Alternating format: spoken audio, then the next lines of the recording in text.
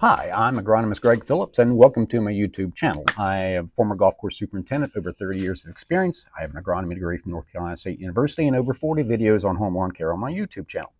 Welcome to all of you. Um, today we are talking about post-emergent herbicides, meaning herbicides that after the weed has germinated, uh, this is the herbicide you put on to control it. We're, uh, I have a pre-emergent herbicide video if you want to check it out. But today we're talking about post-emergent herbicides. Some folks call it weed and feed in the summer. Um, I am going to go over herbicides. I've really researched these. My goals have been this. I wanted to find a very broad spectrum products, okay? Meaning they should cover just about any weed you can have. That will take the, your, your need for weed identification, which I do encourage you to do that, learn your weeds, but I've found, I have found herbicides that do a very broad spectrum so you don't have to worry so much about weed identification. Um, secondly, as you can see, these products can be put out with a backpack sprayer, a spreader, or even these hose applicators if you don't have really familiarity with, with a backpack sprayer or a spreader. Uh, with the spreader, I have a chart that will help you get your proper spreader setting. So I got that taken care of. Um, these herbicides, again on price, if I've not mentioned that, I have also considered where they can be purchased. I have a video on a uh, a, a February through May lawn program for just about every grass you could possibly have. There was one product in there that I have that I will go over that can't be sold in California. I've actually found another product that you can use as a post-emergent herbicide that can be sold in California. I've even considered that. So we got price, availability, and efficacy. So all of those together. Um, so anyway, um, now, few do's and don'ts. Um, one, don't mow when, before you apply. Do not mow two days before and do not mow two days after. It is paramount that the herbicide, one, that you have as much leaf surface as you can from that weed, okay? If you go through there and if you cut the weeds off, all right, or pardon me, you cut the leaves off, you're not going to have that surface to absorb the herbicide. Most of these herbicides are absorbed by both the, the leaf and the roots, but you want it getting in the leaf, getting in the leaves and getting in the roots as well for your efficacy so you're not having to do another application. Cost you time, cost you money, not good for the environment. Okay, so don't mow two days before, not mow two days after, so that herbicide sits there and gets absorbed by that leaf. Okay, then you can mow. Okay, now as far as timing, okay, weeds need to be actively growing. So the, the ambient air temperature should be between 50 and 85 degrees. Now let's talk about the 85 first. A lot of these grassy weeds, and we're talking, when we're talking 85, we're talking summer. A lot of the grassy weeds need to be, weed control products need to be between 75 and 85 degrees in order to work properly. And sometimes they'll need non-ionic surfactant. When you're putting out with a backpack sprayer, I will go over that. Anyway, it needs to be that warm. You don't want to go above 85 because that's too much stress for the plant, even warm season grasses. So when it's above 85, hold off, wait for a few days for it's cooled down. Now, as far as 50, obviously you guys are going out in the spring. Here we are in February. When should we go out? Now, there's a plant, actually a bush, called Forsythia. It blooms, it, I think it grows nationwide. I actually checked to make sure. Uh, it is a brilliant yellow. And you can see these, if you really start looking around, after the Forsythia have bloomed, you can go start going out with your herb, your your your post-emergent herbicides, or you can go out after two good mowings. You've actually mowed your grass and you've actually got some good clippings. Uh, then you can go ahead and put out your herbicides. Okay, as far as warm season grass guys, when you're coming out of dormancy, please wait until it's completely out of dormancy. You're not going to kill your grass, but you're going to delay the dormancy of it because a lot of these products will kind of yellow your grass a little, okay? It'll set it back a little, and when it's coming out of dormancy, it's kind of a gentle time. If you put a herbicide out on it, set it back a little bit, your spring dormancy is going to be delayed. And if it's actively growing, and the weeds are going to be actively growing too, wait for after dormancy. Um, then put out your herbicide. You'll have better results, and your yard will look better. Um, time of day. If you do it with a granular, with a fertilizer spreader, you should do it ideally in the morning or after a light rain or after a light irrigation. Why do we want to do that? I recommend in, I recommend in the morning because you can see your tracks in the dew. Okay, I actually used to do that when I sprayed for fairways on golf courses. As I would go out before dawn and first light, I'd be out spraying fairways because I can see exactly where I went because I can see what, what, where the dew was disturbed. You also see that with your broadcast spreader too. You actually see where it landed, so it makes you can identify where you've been much better. Why you need it wet, slightly wet, is so that herbicide in that granular will stick to the leaf blade and there absorbs will be absorbed by it. If it's dry, it'll just fall to the ground. There again, we want it sticking to the leaf blade. Now, on a liquid, either with the hose or with the backpack, I generally go out maybe a couple hours before sundown. Reason being is if it evaporates off, generally you know herbicide there, it's mm, can arguably, arguably affect the efficacy because some of it's going to evaporate off. Um, if you put it on just before the just before the sun goes down, enough daylight where you can see what you're doing and, and you can do a good job of it and you're not rushed. Um, that'll sit there on the leaf blade overnight. It'll really be absorbed by that plant and it's a, it's a good time to put out your liquid. So do those in the afternoon, evening. Now, never use a drop spreader. If you're putting out the spreader, only use a broadcast spreader. I don't recommend a drop spreader for anything. Um, it just, you can't get it uniform. I've, I've been doing this 30 years. I could not get it uniform. It's just not going to happen. Now, there, I, I talked real quick about a non-ionic surfactant, and generally it's a table, it's a tablespoon, pardon me, yeah, it's a tablespoon per gallon is what you would need on a non-ionic surfactant. I'll go over some chemicals with that when you put out the backpack sprayer. What those do is, is they allow the, the herbicide to stick better to the plant. Um, those are more critical for um, summer weed control than it is in the spring, but for broadleaf weeds. But it's it's good to follow the label. The Sublime product that I have does require non-ionic surfactant, but you only need a tablespoon of it per gallon. Uh, no rainfall 24 hours after you have put down your herbicide. Um, a lot of some herbicides say they're ready, rain ready in an hour, and I found that to be true. Um, I you know put up glyphosate and a few other products that say they're rain ready, and generally they are. But ideally, you don't want any rain. If you can, you know, wait a day or two. It's really important to get these down in a very effective way. Prevent you from putting it out again. Double your money, double your time. So anyway, try no irrigation or rain 24 hours after you put it out.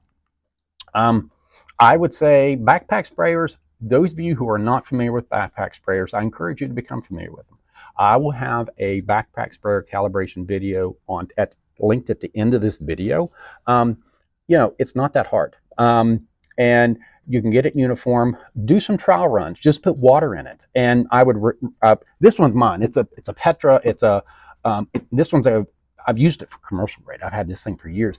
Um, it's actually a battery powered. They're like a couple hundred bucks. This one's a little bit pricier, but get you a good name brand backpack spray if you're going to do it. Because if you get some of these Walmart cheapo varieties, you're going to have them for pop, you're pop, probably by the third time you spray with them, they're going to break. Okay, they just are. So get you a good quality uh, spray, uh, sprayer. Um, you see my, I actually go over that in my calibration video of what is a good sprayer, so you can hop over and see that.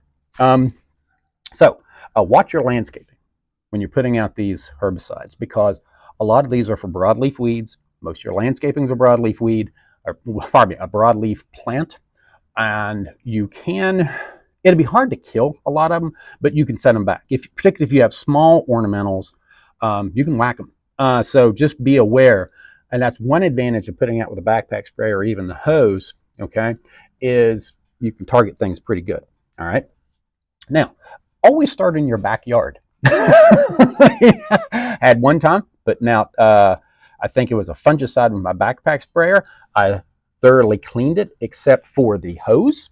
And the thing I, I put up Roundup prior to, there was enough Roundup in there. I killed probably about, eh, probably about 20 square foot of my yard, and it happened to be in the front yard. That was nice. And it had um, pre-merge in it too, so I actually had to resod that area. So start in your backyard in case something weird happens. Um, if it is your first time putting it out, I would encourage you either in your backpack sprayer or your spreader only put maybe a pound or a half a pound in your backpack sprayer, or pardon me, in your spreader.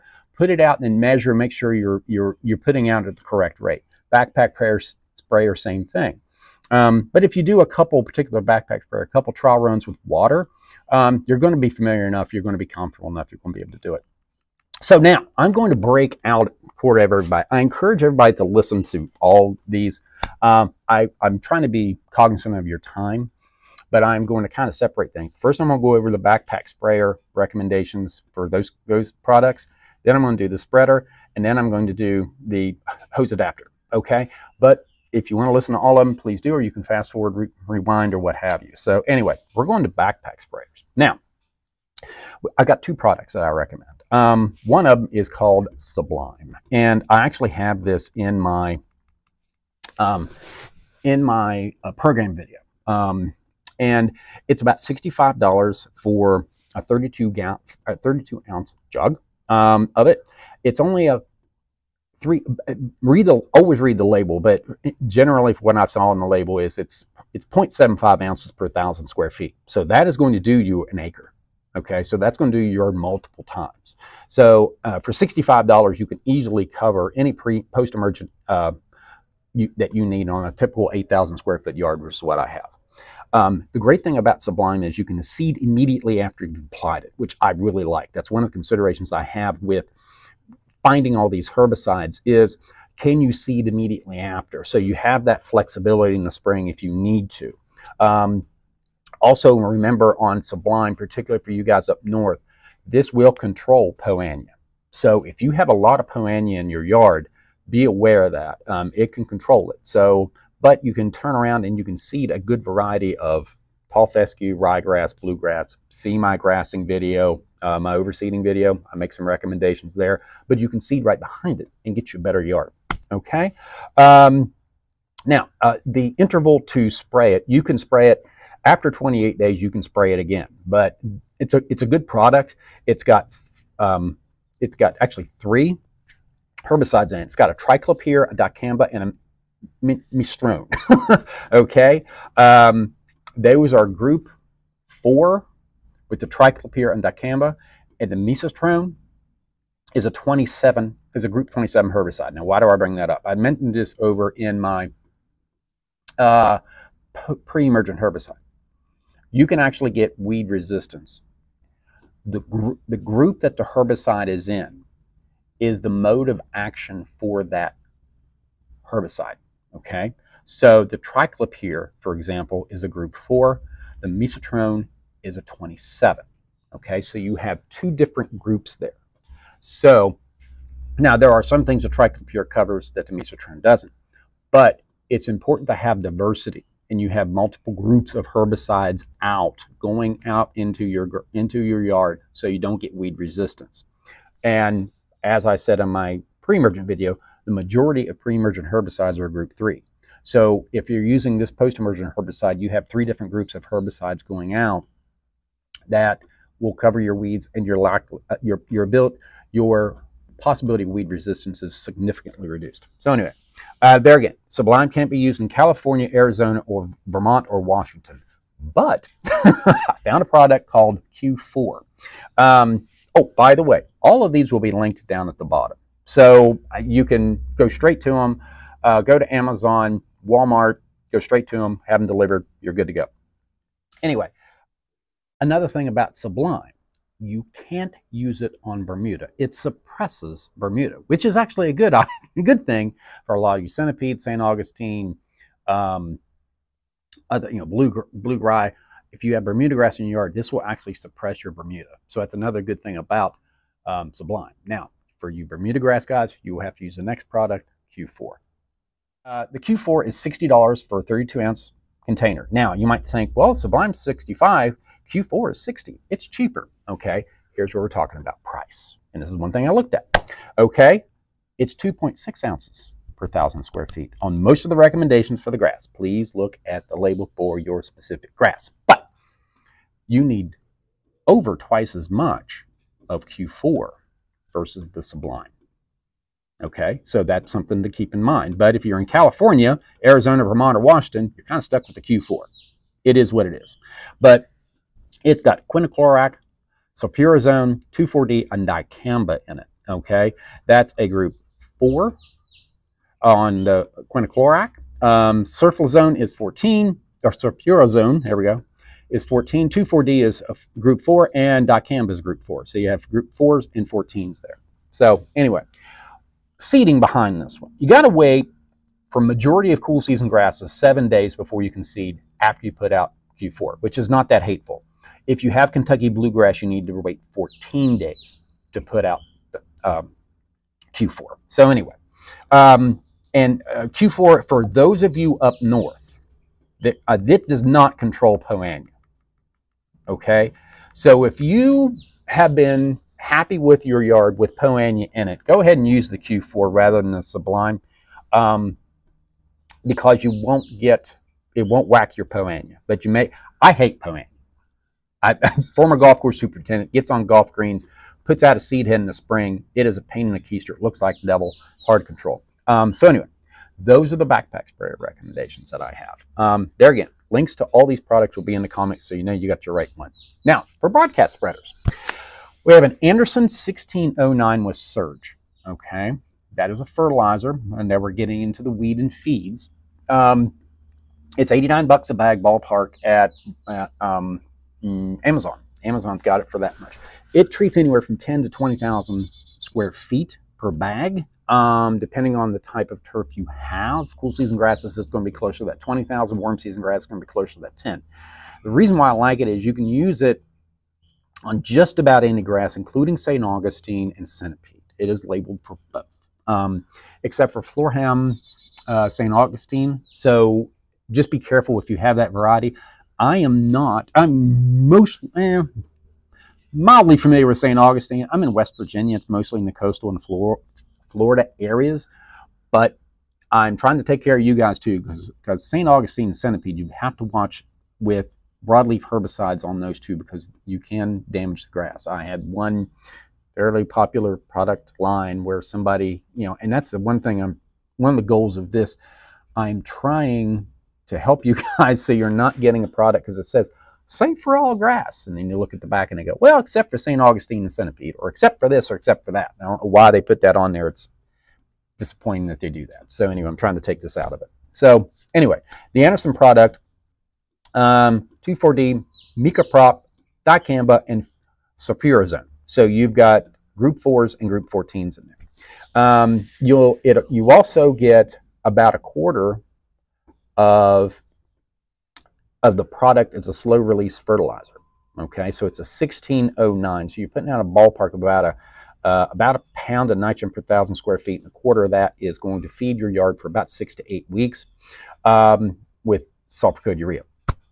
Um, you can get a little bit of yellowing with Bermuda at this. That's why I recommend putting it out when it is actively growing. But with the fertilizer on it, that should take care of a lot of the, any type of yellowing that you have. Okay, uh, you can seed three weeks after application. You have to wait three weeks when you put this out. Um, the only restrictions I've seen in Suffolk and Norfolk counties of, of New York. So those of you who live there, you'll have to go another route. Got an option for you here though.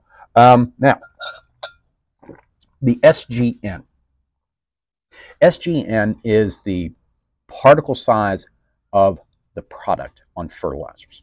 This is one of the things that disappoints me about some some fertilizer labels. Scotts is bad about it. I have not seen an SGN on it, meaning that's the size of the particle. This Anderson product, the Anderson products, I used them when I was a golf course superintendent. I'm very happy with them. They are very high quality, good stuff.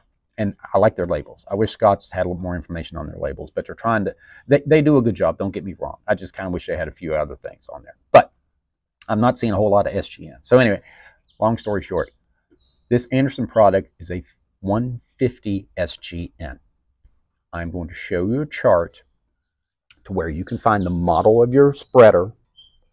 And if you look at the back of the bag, they have Scotts R8, a few other ones, Earthway, I think, and they actually have an Anderson. And you, pardon me, and you can look for the model of spreader that you have and that will give you a starting point of where to set it on where you can put it out. So I'll go over that right now. Okay, here is what will be on the fertilizer bag that you get in. I'm going to do this very quickly. Over here are the active ingredients. That's the herbicide. So you'll see the name, you'll see the analysis, then you'll see the herbicides that are in the bag. And then, let's see, you will also see, um, okay, here's the guaranteed analysis. This is where you will find, you'll see here, um, for the slowly available nitrogen, that is, okay, of the 16%, four of that is slowly available, meaning 12% is essentially water soluble fertilizer. It's a quick release fertilizer. So anyway, very quickly how to read the back of a fertilizer bag. That's just the real thing. There again, if it's a herbicide, there's the active ingredients like we talked about. There's the analysis and there's how much slow release nitrogen in it. And it'll tell you this one happens to be, as I said, sulfur coated urea. Now over here, this is the nitty gritty. And of course you'll see all the, all these are all the weeds that are controlled by this. I'm not going to go, you know, I'm not going to belabor it. Anyway, here's what here's here's where the rubber meets the road. Okay, so that's not there's um there's Scotts this R8A. Those I don't know if those are commercially available anymore. I looked on the internet. I was going to make a recommendation if you're going to buy one, buy that one. I can't find it. So and then you've got Lesco, you've got an Anderson product, you've got Lilly, and then you've got a low, medium, and high rate. Here's essentially the lower, medium, and high rates. Okay. Okay, so you got two and a half pounds, 3.8, 4.0. Now it'll depend on the type of grass and a number of other things. But we're talking about the fertilizer setting. So, okay, so let's just take the Scotts R8A, okay? And you're wanting to go out, let's say you're wanting to go out at the high rate. So the setting on a Scotts R8A is K and a half. So here's the chart. I'm going to leave a link for this chart, or you can freeze it, whatever you want to do. Okay, this is, there again, this is the SGN of 150. There, you can find that on the bag. Sorry, jumping around. There's the fertilizer settings, and you can see the SGN. That is basically that's basically the sieve size that the product passes through. The higher the SGN, the more coarse the product is.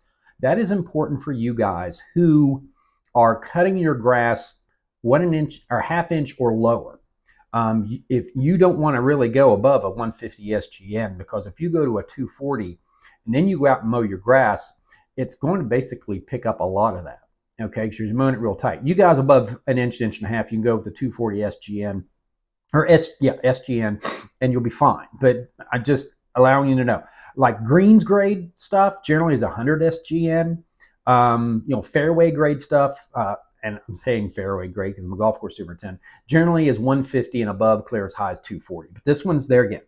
And you'll see these on this, it'll be 240, and generally with 240, 150 for home lawns is all you're going to be dealing with. You're not going to be dealing with anything small enough for golf course greens. Okay, back to this. I apologize giving you too much information maybe. Okay, Scotts R8, you want to go at a high rate is K and a half. So we go over here, we find Scotts R8A, there it is, and our setting K and a half is here, okay?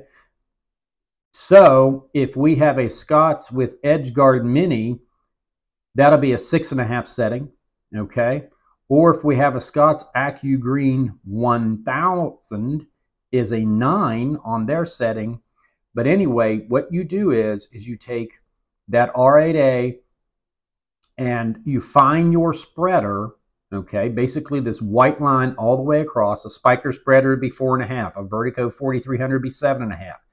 This covers a great deal of the spreaders that are commercially on the market. Okay, so I'm going to leave this link down below. This is actually from Lesco. Um, great company, by the way. Um, anyway, so that is how, that's a good starting point uh, of where you set your spreader for at least the Anderson product. Scotts product, they will have, they'll probably have a Scotts spreader setting, and then you can find your, this should cover you. This should cover, this covers a great deal of, of spreaders. Try to find your model number somewhere that's how you get started. Okay, and you can use that um, for just about anything. So anyway, that helps you out, get you there. I actually have a calibration video for spreaders if you want to look at that or if you have any problems, but I found out that's about the best way to calibrate one. Now, For those of you who wish to seed, okay, there is a Scotts Turf Builder triple action for seeding, and it is a 21 22 4. 21% nitrogen, 22% phosphorus, 4% potassium. For a starter fertilizer, you want that middle number to be high, so it's 22% phosphorus. Okay, so this is a really good seeding product, and it will control. It's not, not a quite a broad spectrum as the other three products that I just told you about, the two sprayer and the, and the two granular, but or the one granular. But it it it is a nice. It's 48 bucks a bag. It does 4,000 square feet. Um, it is nice to put it out, and there again, you don't have your seed competing with weeds.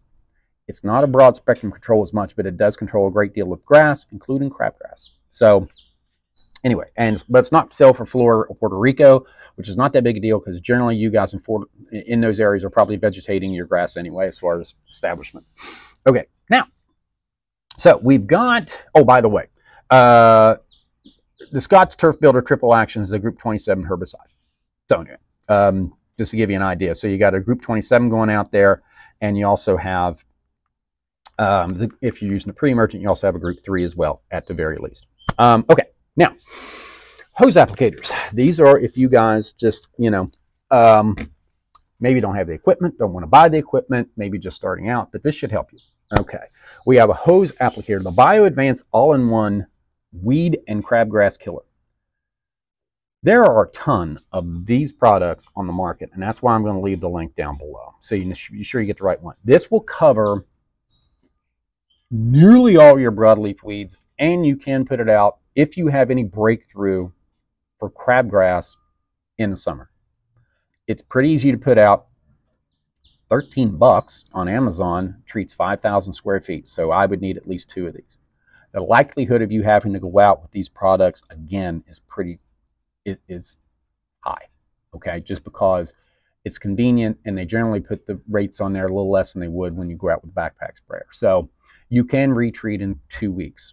Okay, so just monitor things. Probably plan to do that with these type of applicators. Okay, um, now you can't use that on St. Augustine, uh, centipede, or carpet grass. All right, I got something for you guys here in a second. Uh, let's see. Now on this product, as far as crabgrass control. Um, it's kind of weird. It's got quinaclorac in it. Okay, quinaclorac is a very good herbicide that treats both broadleaf and grassy weeds. The problem with it is it only, it's kind of weird. It only treats crabgrass either early or very mature crabgrass. Um, they generally, most quinaclorac labels say do not put out before August 1st or, well, let me back up. Between mid May, I'm talking about my area in the mid Atlantic, to about the end of June, maybe middle of June, it works great. June, late June, July, end of, I think it's August 15th, if I'm not mistaken, not August 1st, August 15th. Mid June, late June to August 15th, it won't touch it. It's kind of weird. Middle aged crabgrass won't do much for it. So you want to get it early, or if you want to clean it up and maybe do your fall seeding, put it out middle August, you can control your crabgrass. But this does, there again, all broadleaf grasses. Um, now, um, it does have a spray marker in it, meaning it kind of will show you where you have sprayed. Um, and I'll call that arguably. now, maybe it's because my eyes are 54 years old. Um, just be cognizant of where you put it. Um, also, if you have a spray marker in it, be careful around your steps, any type of um, uh, cement. Uh, it, it won't stain it for long, but it can stain it. So anyway, but there is a turf marker in it that would help you out. Shout out to the Bucky Bucky's Cup. All right, anyway. All right, last thing. All right, for you centipede, St. Augustine guys, the only thing I can find is an atrazine. Um, atrazine, okay, it's a high yield atrazine weed killer. Um, $24. Um, let me say that again. High yield atrazine weed killer RTS. It's 24 bucks. That does 3,700 square feet. Um, you cannot put this out six months before you seed, which is probably not a big deal for you guys down in Florida because you're probably vegetating it anyway. Um, two to three days afterwards, you don't want to have any irrigation. You want it sitting there. All right. And, but you need to water it after those couple, three days. You need to get some water in it so it get it in the soil. It's actually got a little bit of post, me, pre-emergent action to it. Okay. Uh, it is not sold north of North Carolina. You don't need it north of North Carolina. But I'm just helping you centipede and St. Augustine, guys. That's probably about the only option you got if you're using these. So, anyway, that should cover you. I have got links to all of these products down below. Um, so that way you know you're getting the right ones. Um, and look, I've got all kinds of videos on on YouTube with that probably pretty much covers the gamut of anything you would possibly need. If you put um, in the comments, you put anything in the comments, you can. Uh, I'll get back to you very quickly. If you subscribe and hit the bell, it's February. I'm telling you about pre-emergent herbicides, which is something you're going to be doing. If you hit that bell, you're going to get a notice of, hey, I've got a video up. It might be something you need to do. I'm going to do something on grubs here in a little bit. I'm going to do also the, um, uh, well, grubs will be about another month or two. Mm, yeah, two February. Um, I'm going to finish my uh, June, July, August programs for everyone. So you hit the bell, you'll get notifications. It'll probably preempt you to cover something, fungus, insects, what have you in the thing. So anyway, I'm Greg Phillips, and thanks for watching.